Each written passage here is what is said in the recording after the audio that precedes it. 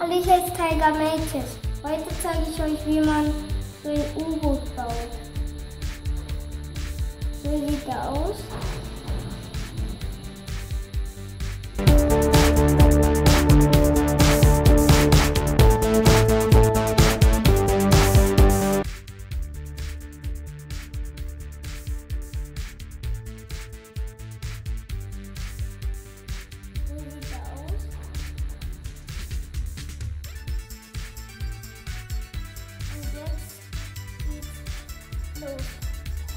Diese alle Teile braucht ihr. Und jetzt geht's los.